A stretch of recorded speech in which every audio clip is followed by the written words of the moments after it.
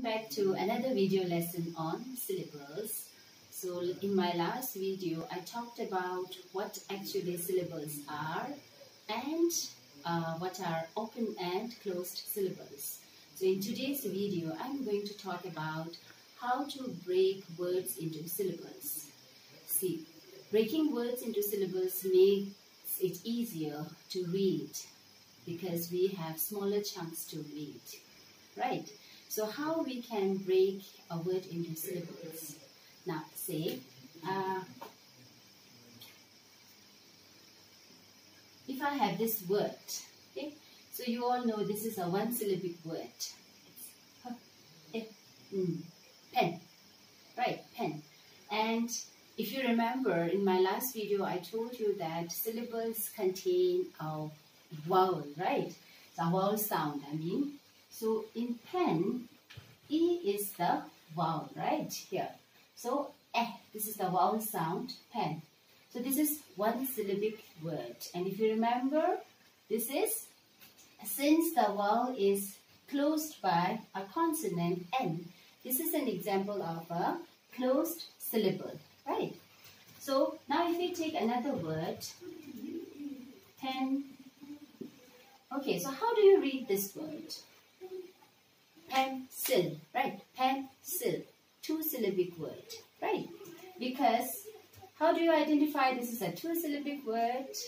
As I told you in my previous video as well, we have to count the number of vowels, right? So let's count the vowel sound here. So this is, right, one and this is another. So now we got that since, uh, right, we got the vowel sound here, right? Eh, e, E, pencil. So how do you break this? So what we need to do is first we need to underline the vowels present in the word and then we will find the word, oh sorry, the letters in between. So what do we find here? N and C. Now what we do, what we need to do is from the middle we need to break this, right? So we get pencil. So pen, sil, two syllabic word, and both are closed syllables because after the vowel we have a consonant N here and a consonant N here, Pen, pencil, right? Now let's take another word. Uh, okay, so how many syllables are there in this word? Yes, right, two, right? How? Open, open, right? So we need to break this. So here it's little difficult because uh, we underline this vowel, we underline this vowel, O and E, right? But then we just have one letter in between. So usually what we need to remember is usually we break or we split the word at the side of the first vowel sound, right? O, pen. And what you notice here is this is this, this syllable O is an open syllable because we don't have uh, a consonant that close this syllable, right? O and then the second syllable, pen, open. So this is an example of a closed syllable and this is an example of an open syllable. Open, right? Now, if we take another example, okay, this is open. If we take another example, uh, right, just to let you understand or uh, do a review of open and closed syllable, if you remember, I told you when a vowel, oh sorry, when the syllable is open, the vowel say its letter name, right?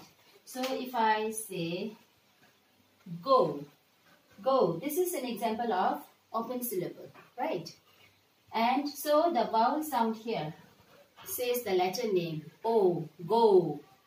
But what will happen if I close it with a consonant? The sound changes. The vowel sound becomes shorter. Instead of go, now it's got. Okay, not goat, but got. In the same way, if we have this word me, right? Me, open syllable, me. And if I close it with a consonant N, now you will see the you can say you will have a short vowel sound and it's a different one. Instead of me, now it's men. Men. Okay. So this is just to help you understand how the, you can say vowel sound changes depending on whether it's a open syllable or closed syllable. And what you need to remember is in order to break syllable, the first thing you need to do is underline the vowel sound and then try to break or split the word, right? And uh, yeah, so this is how you can uh, try to break the word into syllable and keeping the open and closed syllables in mind so that it becomes easier for you to read out the word. So I'll tell you more about uh, syllables in my next video lesson. Until then, take care. Thank you.